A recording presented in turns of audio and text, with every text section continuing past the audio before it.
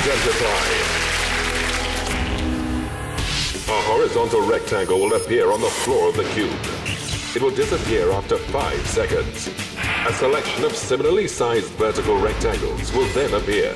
All you have to do is identify which of these shapes matches the original rectangle.